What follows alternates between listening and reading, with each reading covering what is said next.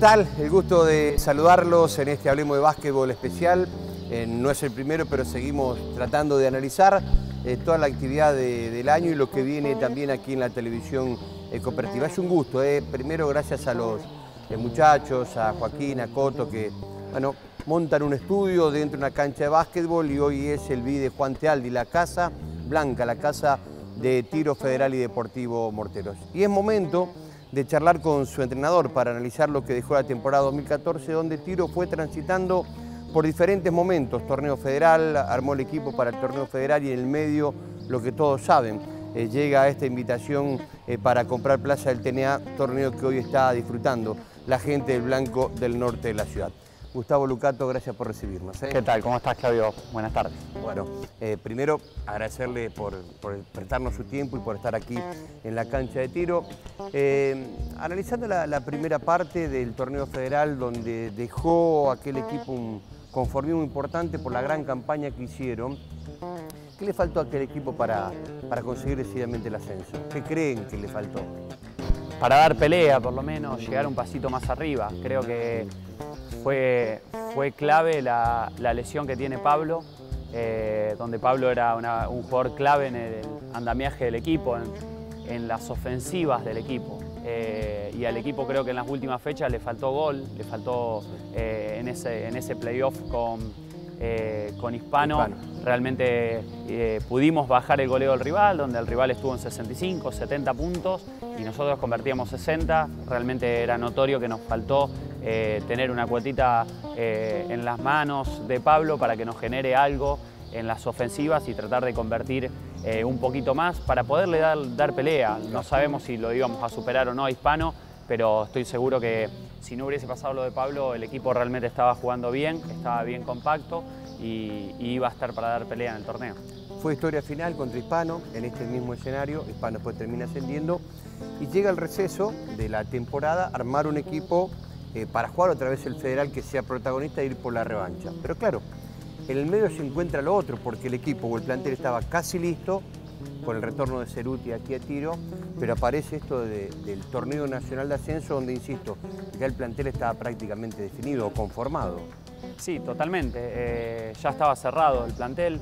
Eh, eh, como bien lo dijiste, hicimos y armamos, creo, como equipo para tratar de mejorar lo que era el equipo de la temporada pasada del, torneo federal. Yo creo que, y estaba convencido de que este equipo que se armó para ese torneo federal realmente iba, iba a dar pelea otra vez en, en los puestos de arriba, porque realmente tratamos de, en el armado del equipo de balancearlo un poquito mejor, de que haya un poquito más de rotaciones en sus puestos, eh, de poner eh, a gente joven y bueno, la verdad que estábamos bien, eh, bien contentos con lo que teníamos armado. Bueno, es una realidad que, que llegó este gran ofrecimiento para el club, para la zona, que iba a ser un gran movimiento, que era una posibilidad que económicamente al club de tiro le convenía, eh, por, la, por, la, cantidad de kilómetros que tenía que recorrer en el torneo federal y no así eh, en el TNA.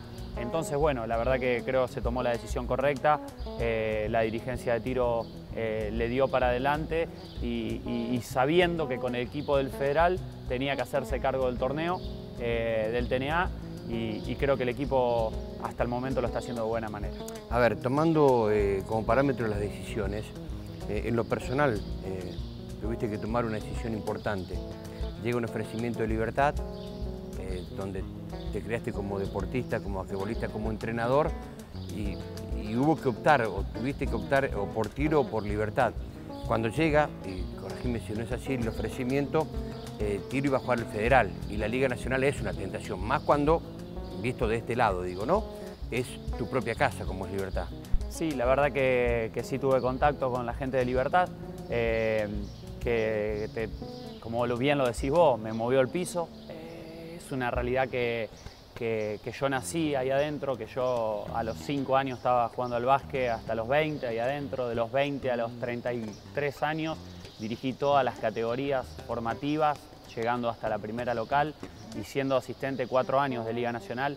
Entonces una vez que uno pasó por todas las categorías, siempre eh, piensa, bueno, me falta dirigir lo máximo y estaba al alcance de la mano, pero bueno, uno tiene que poner en, la balanza muchas cosas, como era que había un año más eh, de contrato eh, en la gente de tiro que tan bien se había portado conmigo en la temporada anterior y que fue quien me abrió las puertas para que yo empiece a dirigir. entonces hubo muchas cosas que se pusieron en la balanza. El, gran, la gran posibilidad de tener un cuerpo técnico acá como Damián, que había estado conmigo eh, haciendo un gran laburo el año pasado y los dos nos hicimos cargo de, toda la organización y la posibilidad de sumar a un profe eh, que, iba a ser de mi palo, de, una persona eh, que yo aprecio mucho y que tenemos realmente, que nos entendemos muchísimo y que hemos estado muchos años juntos en libertad. entonces, bueno, va a haber tiempo para eso, si es que uno sigue creciendo y lo demuestra. creo que uno siempre aspira, eh, un jugador, un entrenador, a llegar a lo más alto. Yo no tengo apuro, nunca me apuré eh, cuando estaba dirigiendo eh, menores en libertad, nunca dije, ya tengo que dirigir una primera local en libertad. No, lo ideal era ir paso por paso, mejorando cada año, nunca estuve apurado por, por estar en una, en, una, en una categoría de inferiores superior, era cuando se daba, estaba el salto. Bueno, yo creo que en algún momento me tengo confianza para, como, para pensar que puede llegar eh, pero también sé que mientras uno más años va haciendo en las categorías de desarrollo, como es un torneo federal o un TNA, eh, más va aprendiendo, más cosas va a corregir para que cuando sea el momento eh, estar mucho más preparados, haber vivido muchas más situaciones con jugadores, con equipos, con rivales, fallas que uno tiene constantemente cuando dirige, cuando entrena, en, el, en el diálogo con los jugadores. Entonces yo sé que temporada a temporada voy agregando cosas al desarrollo mío como entrenador y, bueno, ojalá, eh, como lo dijiste, este año Tiro hizo la posibilidad que juguemos un TNA y yo no lo esperaba y ya estoy a lo mejor dirigiendo en una categoría superior. Eh, si se da en un futuro, bienvenido sea. Por ahora no tengo apuro y sí me gustaría afianzarme en esta categoría ahora que la estoy dirigiendo. A ver, eh, era en ese momento el torneo federal una linda revancha para Tiro. Iban por la revancha. Digo, hicieron una campaña extraordinaria, sorprendiendo a muchos, por eso me puedo incluir, digo porque era la primera vez y Tiro llegó ahí hasta semifinales ante el equipo que después termina ascendiendo. Digo, lo personal también se tomó como una, una revancha del torneo federal, más allá de esta posibilidad de libertad.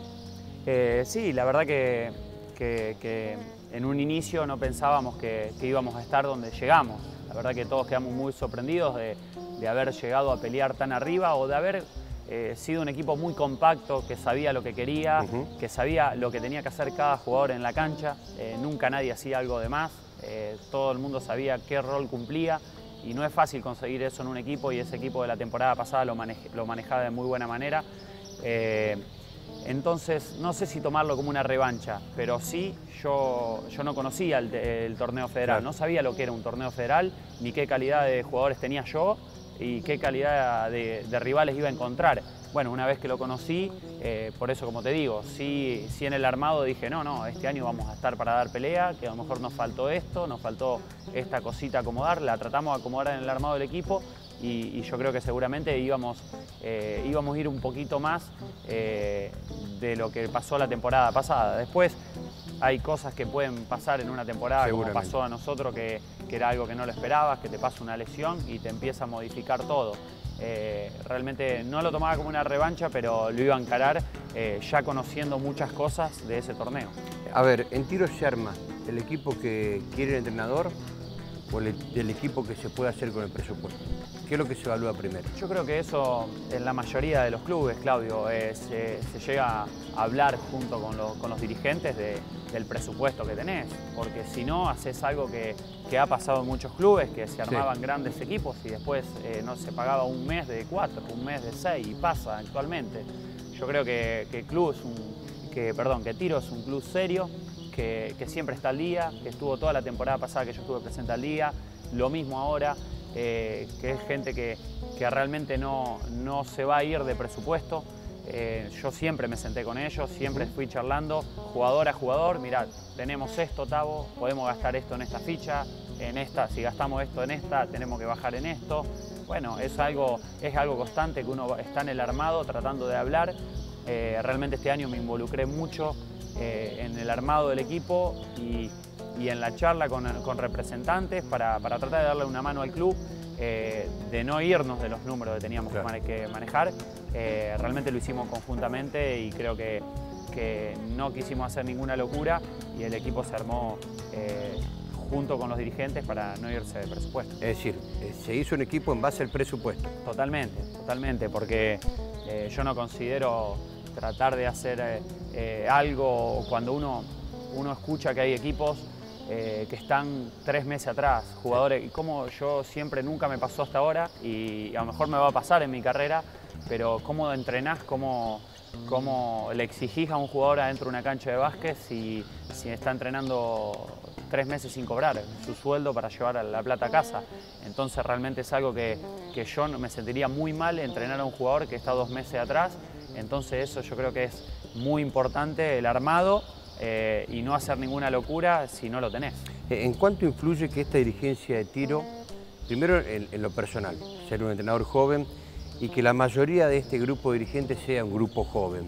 Eh, ¿En cuánto influye para la, armonía y pensar, yo creo que hay etapas en la vida, para entrenadores que trabajan de una manera, van pasando los años y hay entrenadores que implementan algunas cosas nuevas, es decir, todo se va modificando.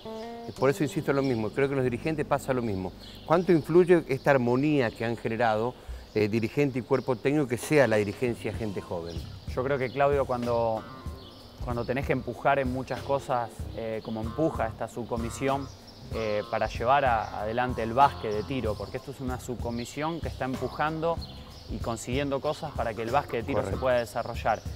Entonces, obviamente que se necesita gente joven y, que piense y que tenga ganas de, ir mejorando esto a futuro, que, eso fue lo que armamos y lo que se pensó en un inicio. Nosotros acá tenemos que mejorar el básquet de Tito.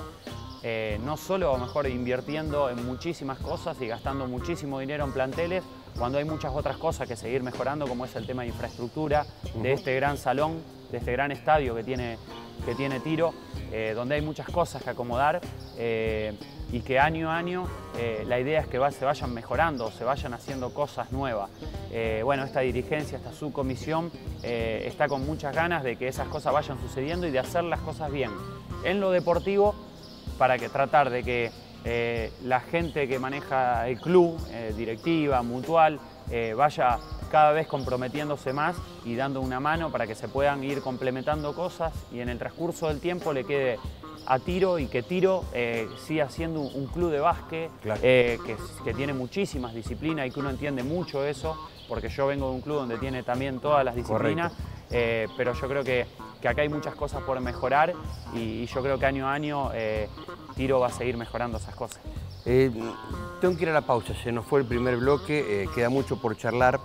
Es un deporte lógico el básquet, pero yo quiero saber desde su punto de vista cuánto le da de aspecto a la suerte. Se dice habitualmente dentro del deporte estar en el momento justo, eh, en el lugar indicado, tantas frases que hay, ¿no? Pero eh, ¿cuánto influyó la suerte o la mala suerte para Tiro desde lo deportivo? Lo charlamos por la pausa, ¿le parece? Estamos en la televisión cooperativa, gracias por estar del otro lado, por permitirnos formar parte de, su jornada. Insisto a los muchachos eh, que hacen un trabajo extraordinario para montar todo esto, a la gente de Tiro por permitirnos estar aquí en el Videte Aldi, a su entrenador a Gustavo Lucato. Pausa en la televisión cooperativa y seguimos hablando de básquetbol, edición especial.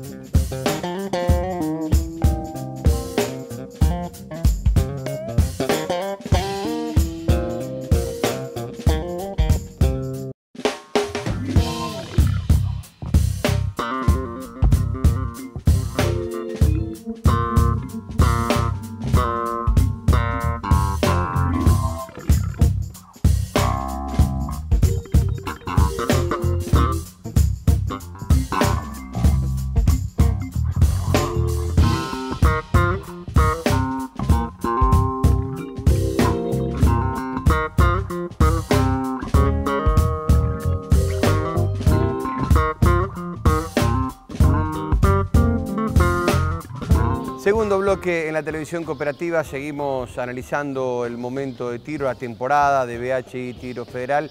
Y antes de la pausa le dejaba un interrogante, Gustavo.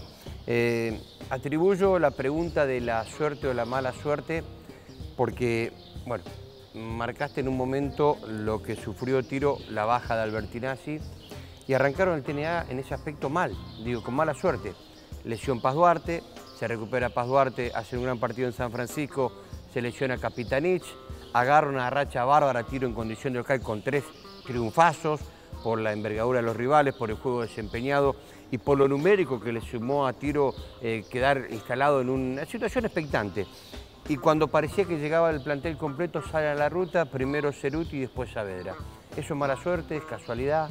No, eh, sí, yo sí le tengo que atribuir algo al deporte, tener una lesión eh, es lo único que se puede decir como una mala suerte. Cuando realmente tenés lesiones, decís, ¿por qué pasó? ¿Por qué me pasó a mí? Justo la jugada fue así, le pisé el pie, eh, me movió cuando caía. Sí, podés tener una cuota de mala suerte en el tema lesiones. Después en el tema basquetbolístico no las veo nunca. Nunca puedo decir hoy perdimos partido porque tuvimos mala suerte. Menos en el básquet. Eh, no. Menos en el básquet. Totalmente. Acá se trabaja. Se trabaja, se entrena, se el jugador tiene que acomodar detalles que está fallando, el entrenador tiene que corregir esos detalles eh, tácticos que tiene el equipo. Entonces yo considero que es todo trabajo, no hay, no hay mala suerte en ese, en ese ámbito, pero sí a lo mejor en el tema de lesiones. Eh, que le pasan a todos los equipos, no nos viene pasando nada más. No, que no, a tiro. seguro, eh, seguro. Todos los equipos tienen alguna baja o vienen con alguna baja. Yo creo que a todos los rivales que fuimos encontrando hasta ahora, todos algún problema de lesión tuvieron. Un jugador afuera un partido. Bueno, sí, es una realidad. Eh, que por este armado de que venimos hablando, que armamos un equipo para federal y está jugando una categoría, superior, donde realmente eh, quien conoce y quien estuvo muchos años en esta categoría es Mariano, el resto no. Realmente creo que cuando tenés una baja realmente lo sentís. Eh, a lo mejor otro equipo la disimula mucho menos porque tiene ocho fichas mayores, nosotros hoy contamos con siete. Y, Nico, que es un sub-21, está, es, la, es la octava ficha. Entonces a lo mejor si nos falta una ficha eh, mayor, las A7 que te estoy nombrando, realmente nosotros lo sentimos. Eh, y bueno, la lesión de Seba fue de un interno, que nosotros realmente es donde estamos más cortos. Nosotros en el perímetro estamos mucho más armados, por eso a Dragan lo pudimos eh, disimular mucho más cuando él no estuvo, ¿sí? porque tenemos un perímetro más armado que la zona interior. Eh, con esto de tener tantas pocas fichas, eh, nada más que ocho, algo tenés que descuidar. Nosotros pensamos en el armado que teníamos que fortalecer un poquito más el perímetro que, que, el tema de la pintura. bueno, justo se nos lesiona a principio de temporada Sebastián y, bueno, realmente nos jugó una mala pasada. A ver, Marcabas en un momento lo de Ceruti, ya sabemos la experiencia, tantos años de liga.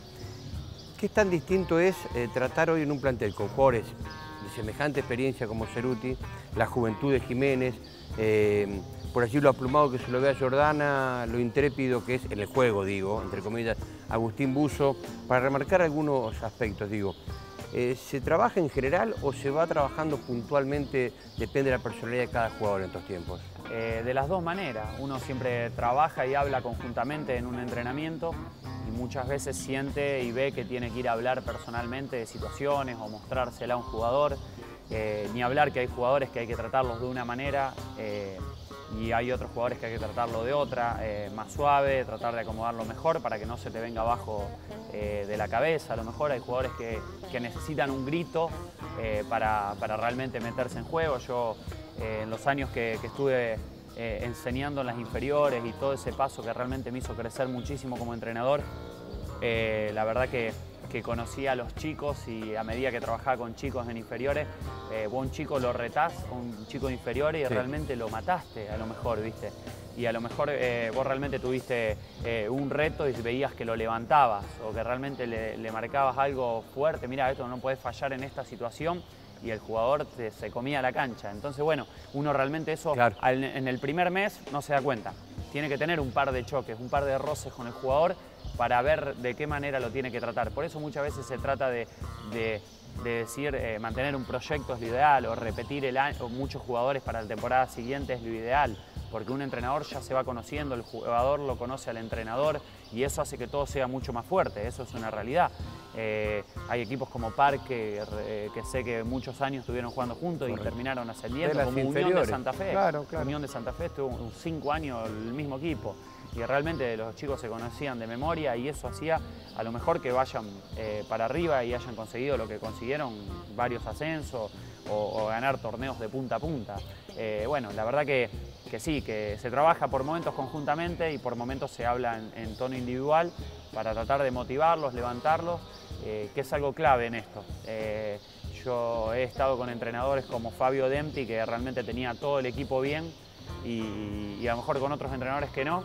Y realmente uno trata de ver y de, copiar eh, lo que uno considera que, es mejor. Y bueno, realmente, realmente la manera de manejar eh, el, plantel que tenía Fabio Dempti realmente eh, me pegó mucho, vi cómo estaba el equipo y realmente que trato de imitarlo muchas cosas. pero bueno, después cada cual tiene su personalidad y lo maneja a su manera.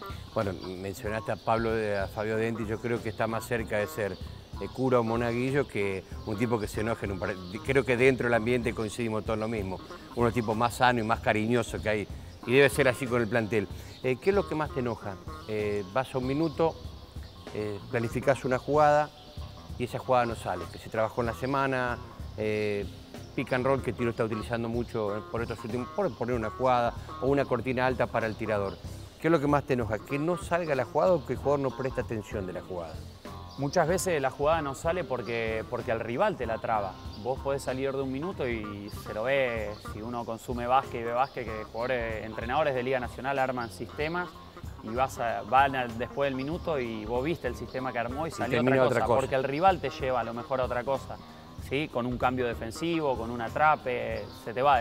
Ahora, lo que a un entrenador le molesta es que, que, que una situación específica se trabaje y después no se ejecute de esa manera y que se acomode y se echarle. A lo mejor el, eh, jugar el pick and roll así, esperar al grande para cortinar, eh, que te cortine, tener timing en esto, eh, atacás junto y vos lo trabajás y lo, lo haces durante toda la semana eh, y después no se hace en el partido y a lo mejor eso es lo que a un entrenador lo saca como para decir, solo trabajamos eso, no es que no hable nunca de eso, ¿sí?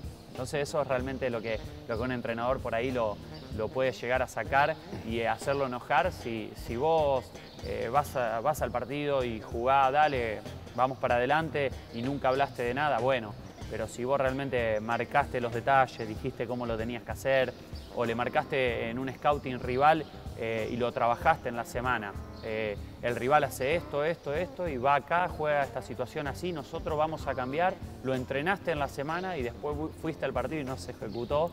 Eh, cuando lo viste en video, lo, caminaste en la cancha, lo hiciste, bueno, realmente son cosas que, al entrenador lo enojan un poco. A ver, ¿y cuánto vale impronta eso?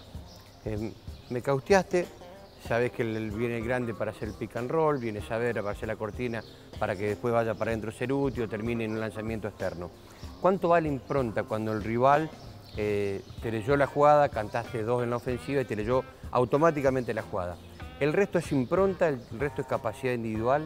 Totalmente. Eh, el jugador sabe jugar eh, y, te va a encontrar el tiro igual. Uno trata cuando hace el scouting es tratar de no hacerlo sentir cómodo al rival, que el rival se sienta incómodo, que no juegue como juega siempre. Uno ve dos o tres partidos del rival eh, lo analiza, ve cómo lo juegan siempre, para qué lado van, o un jugador va siempre a derecha, bueno, vamos a defender este pick and roll así para sacarle la mano derecha a este jugador y que vaya a izquierda. Pero nosotros sabemos que el jugador va a ir a izquierda.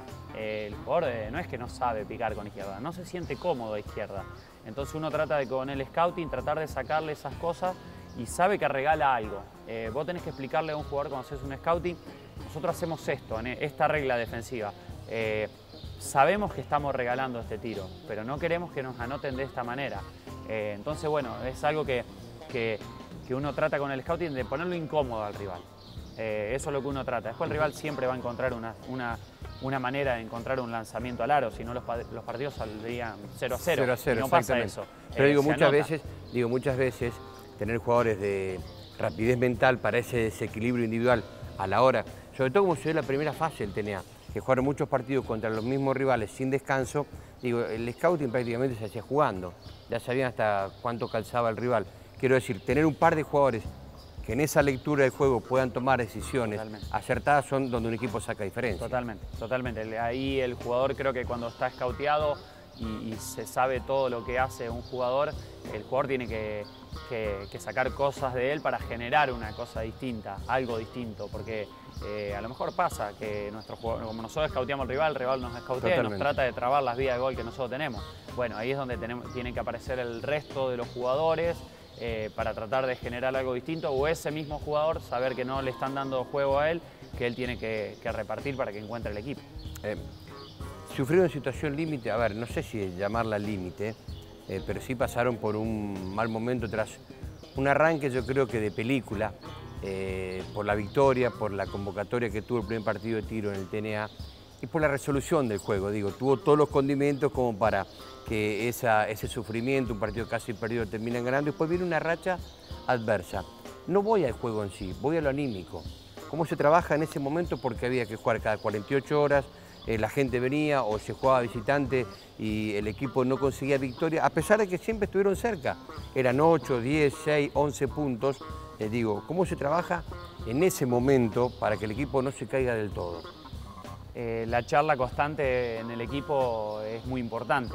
Siempre cuando, cuando se vienen partidos que las cosas no salen y los resultados no se dan, eh, las charlas para tratar de, seguir empujando. Es una realidad, Claudio, que, eso de, perder y jugás en, 48 horas no te da tiempo a estar tan mal. Tan decaído, claro. Eh, si vos jugás un viernes y perdés y recién tenés revancha el viernes siguiente, ahí sí se pone más tedioso y más duro. Si venís de una seguilla de tres o cuatro partidos seguidos, perdidos. Eh, ahora nosotros terminamos de jugar y a los dos días, tres días ya teníamos un partido. Entonces ya la cabeza al día era descanso y al día siguiente ya estar preparando al rival. Entonces a lo mejor eh, cuando los tiempos son tan, cortos, la charla a lo mejor seguramente es más corta, porque ya le mostraste los errores, eh, los videos, donde en esto fallamos, esto lo tenemos que acomodar y ya estamos pensando o haciendo ofensivas del rival para tratar de trabarle situación. Entonces eh, ahí realmente el diálogo se hace mucho más corto. bueno, ahora cuando, cuando tenés más días de descanso, ahí a lo mejor hablas un poquito más para tratar de levantar al jugador, pero yo creo, creo que más que charlar ante esas cosas de cuando estás, que las cosas no salen, eh, yo creo que tenés que trabajar.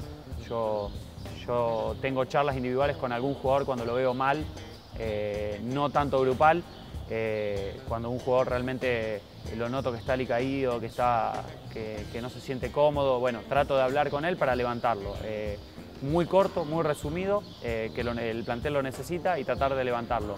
Eh, pero no veo otra, otra cosa para levantar cuando el equipo está en una adversidad que está perdiendo, que es trabajar. No entrenar, eh, eh, estás fallando en esto, bueno, tenés que venir un ratito antes a tirar y conjuntamente lo mismo. Estamos fallando en esto, le muestro el detalle y tenemos que trabajarlo para acomodar. Entonces se entrena con el error y con lo que está fallando.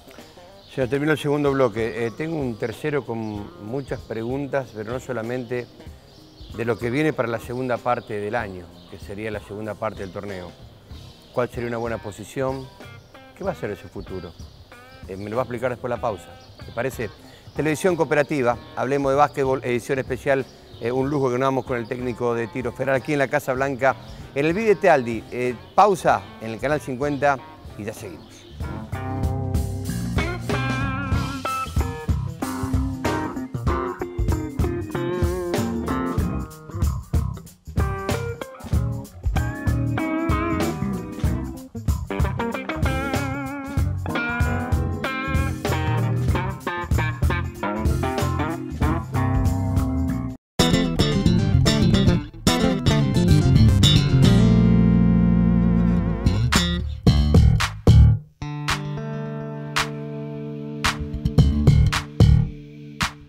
Tercer y último bloque en este Hablemos de Básquetbol especial eh, con el técnico de tiro.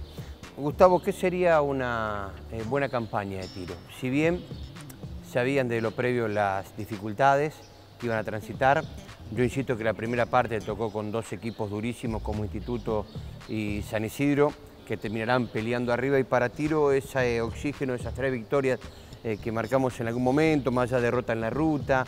Eh, ¿Qué sería una buena campaña? Llegar al cierre del torneo y decir, bueno, hicimos una buena campaña, cumplimos una buena campaña. La verdad que, que, me conoces muy bien y que te marco el día a día, que eh, yo voy a, voy a ir preparando cada partido de la mejor manera. A lo mejor no pienso futuro, pero en unas charlas que, uno tiene siempre con el cuerpo técnico, con algún miembro de la subcomisión, es una realidad que, que, todo este TNA tiene playoff, todos los equipos de, la, de, la competencia van a jugar un playoff al mejor de tres partidos, el primero. Eh, entonces es una realidad que tratar de superar ese playoff eh, va a ser algo importante eh, para, para, este grupo, para este grupo que, uno sabe cómo se armó y sabe lo que está entrenando y lo que está trabajando para dar competencia eh, en, esta, en este nivel, en esta categoría, donde hay tantos buenos jugadores realmente. entonces uno en la charla previa que tiene más allá de que vos sabés que vamos día a día, partido a partido, que ellos te lo marco siempre. Pero tiene que haber un objetivo digo, más allá del partido a partido, es decir, luchemos más allá del partido a partido, insisto, para conseguir esto como resultado final. Con charla yo no lo hablé en el grupo eso, no lo hablé en el grupo, sí con algunos eh, miembros del grupo y decís, eh, bueno, eh, llegás a ese playoff, que cuál es la idea ahora en el desarrollo. intentar buscar, si vos terminás entre el 5 y el 8, tenés localía en esos primeros playoffs. Si terminás entre el 9 y el 12, sos visitante, en esos al mejor de tres vas a jugar afuera. Y, jugar afuera es, muy complicado. Eh, eh, hay equipos como Instituto que no le cuesta ganar afuera. Hay equipos que están realmente eh, muy bien armados y que van afuera y te sacan un partido tranquilamente. bueno, a nosotros realmente que nos viene costando y está, está a la vista jugar fuera de casa. donde sabemos que tenemos que ponernos bien fuerte de local y como lo marcaste antes, tuvimos estos, estos tres juegos de inicio con rivales bien duros de, equipos de TNA, realmente armados para, el TNA y que hace años que están afianzados en la categoría. Eh, entonces, eh, tratamos de, pelear partido a partido para que a lo largo de este torneo, de estas eh, fechas que nos quedan por delante, de tratar de meternos en esa posición 8. uno si termina 8 juega contra el 9 y tiene ventaja de localía y ya podemos jugar un playoff tratando de, pasar ese primer playoff. Y bueno, si llega a venir el segundo al mejor de cinco partidos, realmente eh, va a ser para la gente de, Morteros, para la gente de la zona y para este grupo que, eh, que, tenga un premio por todo lo que viene trabajando, realmente que, va a ser eh, algo que a uno lo va a poner muy contento. Es una linda meta, digo, porque más allá que no hay descensos, digo, fueron varios aspectos, quizás lo, lo dimos haber visto en la primera parte de la charla, por la cual también Tiro eh, tomó eh, esta, eh, o se arriesgó de esta manera sabiendo que la plaza iba a quedar. ir tropezando con el transcurrir de la competencia, corrigiendo errores, a eso me refiero en la misma competencia, pero digo, termina siendo un, lindo objetivo. Si bien es pensar mucho a futuro, mañana aparece el presidente Tiro y le ofrece dos años más de contrato. mira, nosotros tenemos un año más. Tenemos, nosotros hicimos tres, eh, dos años y el tercero con opción, eh, si yo tengo una posibilidad de, partir a una categoría superior, ahí se charla. Eh, la verdad que cuando uno se compromete y, va viviendo dentro de una, de una institución, el desarrollo, yo cuando llegué el año pasado, mejor conjuntamente con Damián, peleé muchas cosas para que se vayan mejorando. Y, ya vi que algunas mejoraron. Y este año estamos peleando otra vez para que sigan creciendo algunas cosas, que, Tiro como institución vaya creciendo. Eh, y, estamos jugando con un equipo a lo mejor que, como, bien lo marcaste, se armó para una categoría y está jugando una superior, entonces uno está peleando muchísimo ahora, eh, tanto a nivel eh, conjuntamente con, la subcomisión para que esto crezca como infraestructura como para que trate de crecer como equipo a futuro.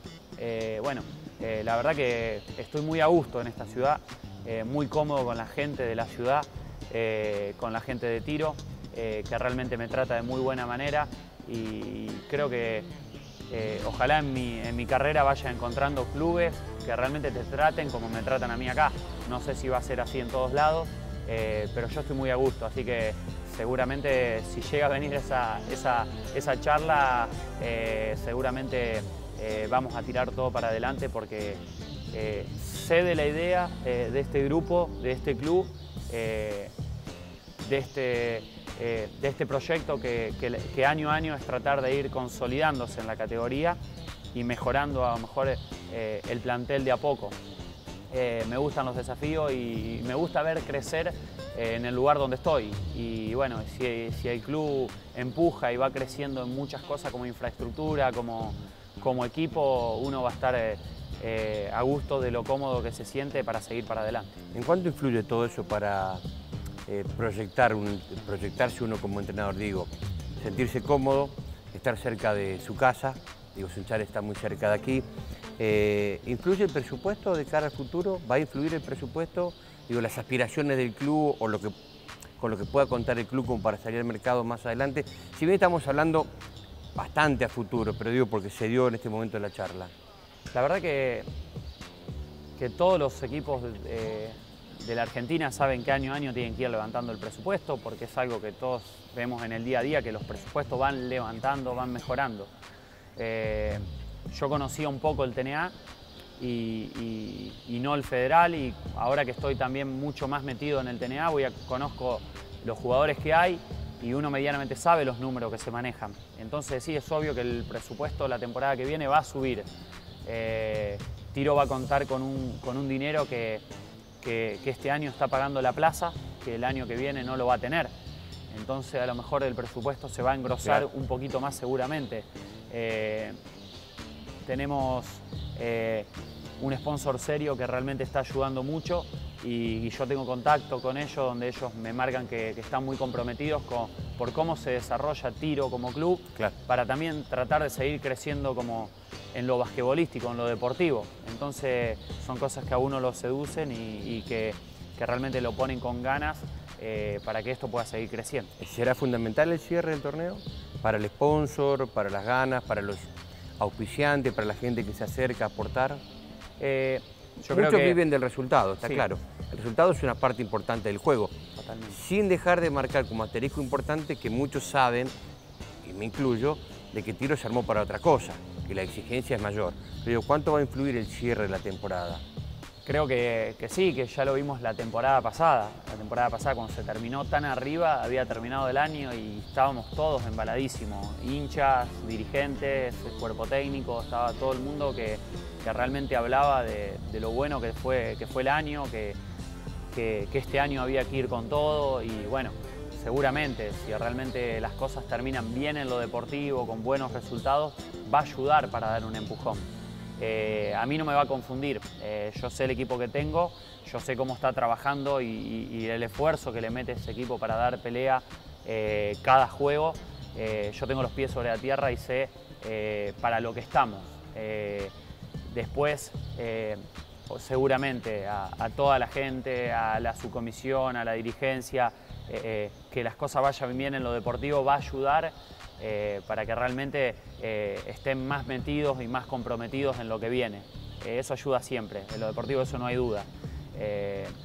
así que bueno, esperemos tratar de, meter ese granito de arena para que, para que todo esto vaya para, para adelante. con el sponsor, como te digo, yo tengo charlas, tengo relaciones con muchos de ellos y, realmente me expresan lo, contento que están por cómo se están desarrollando las cosas. Eh, ellos también saben desde un vamos eh, cuál era eh, o cómo era el equipo que armamos y para lo que estábamos. ellos sabían que, y apoyaron esto, dijeron, no, no, si van al TNA, vamos. Eh, bueno, eh, ojalá sigan estando por muchos años más apoyando a este club. Recordemos que es BHI, ¿eh? la empresa de Sunchero no se puede mencionar. No lo quería nombrar. No, no hay ningún problema. Después llegará, obviamente, desglosado en su descuento del sueldo seguramente la publicidad. ¿Cuánto o qué debe cambiar si es que cree que debe cambiar algo para la segunda parte? Yo particularmente vi un equipo que se acomodó y se fue acomodando a lo que la competencia le pidió.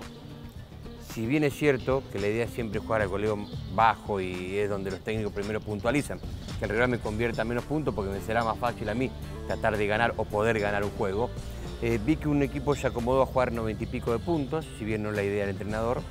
Eh, vi un equipo que se acomodó a jugar 80 puntos, hacer un primer tiempo de 50 y pico contra Unión de Santa Fe y un segundo tiempo de 26 y perderlo por 4, digo 30-26, pero alcanzó para ganar. un equipo que fue madurando con la competencia. Eh, no sé si hace la misma lectura y si algo debe cambiar de eso para la segunda parte del año. No, eh, totalmente. Yo eh, sabes el pensamiento que tengo sobre el tema defensivo y del goleo. Eh, nosotros el año pasado tratábamos de dejar al rival en menos de 70.